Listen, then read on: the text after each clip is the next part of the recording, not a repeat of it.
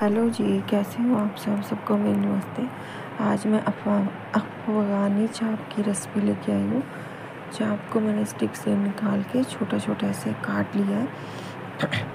अब इसको एक बड़े बर्तन में डालेंगे। उसमें काली मिर्ची ऐड करेंगे। और साथ में नमक लगा के इसको हम थोड़ी देर रख देंगे। एक कढ़ाई में मैंने सरसों का तेल लिया, उसको अच्छे से गर्म करेंगे। अभी तेल को गर्म कर, करेंगे हम थोड़ी देर अच्छे से। फिर इसमें अभी हम चाप को डालेंगे। एक एक पीस करके इसमें हम चाप को डालेंगे। चाप को हम हल्का ब्राउन कलर करेंगे, तब तक इसको फ्राई करेंगे। तेल हमारा गर्म हो गया है अच्छे से। अब चाप को हम इसमें डाल देंगे।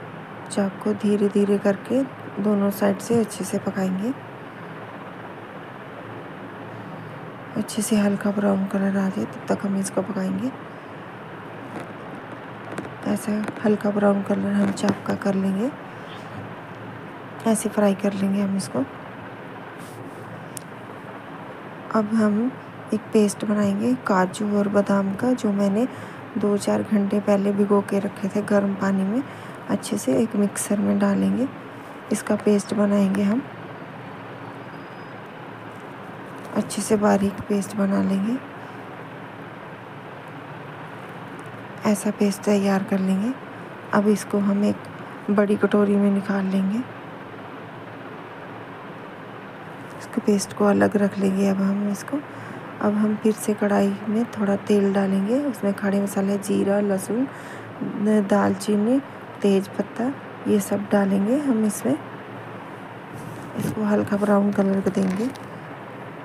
और अब इसमें हम धनिया पाउडर ऐड करेंगे। धनिया पाउडर दो बड़े चम्मच मैंने इसमें डाला है। उसको अच्छे से ऑयल के साथ मिक्स करेंगे। अब इसमें हम ज़ीरा पाउडर डालेंगे। उसको भी अच्छे से मिक्स करेंगे। एक चम्मच हाफ़ चम्मच नमक ऐड करेंगे। अच्छे से मिक्स करेंगे नमक को भी। कुटी हुई काली मिर्च ऐड करेंगे। जरजरा रखी हुई है मैंने मोटी मोटी सी।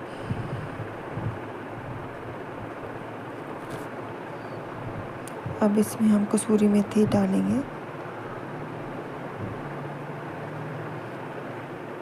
उसको भी अच्छे से मिक्स करेंगे। अब हमने जो काजू और बादाम का पेस्ट बनाया था, इसमें दो बड़े चम्मच दही के डाल के अच्छे से इसमें फेंट लेंगे हम। अब इस पेस्ट को भी मसाले में ऐड कर देंगे। अच्छे से इसको एक बॉयल आने तक पकाएँगे। ग्रेवी हमारी तैयार होगी अभी हम इसमें चाप डाल देंगे। चाप को भी थोड़ी देर तक अच्छे से पकाएँगे।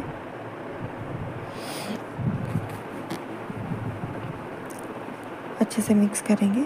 अब थोड़ा सा इसमें हम पानी भी ऐड कर देंगे। ग्रेवी हम कम ज़्यादा अपने हिसाब से रख सकते हैं।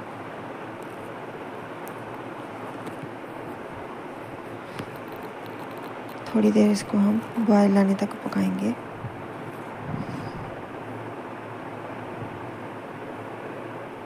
अब इसमें हम मलाई ऐड करेंगे। आप इसमें चाहे तो क्रीम भी ऐड कर सकते हैं। मेरे पास नहीं थी, मैंने मलाई डाल दी इसमें। मलाई को भी अच्छे से मिक्स करेंगे। तैयार है हमारी अफगानी चाप। इसको गर्मा गर्म चपाती या पराठे के साथ सर्व करेंगे तो बहुत ही टेस्टी लगेगी। तैयार है हमारी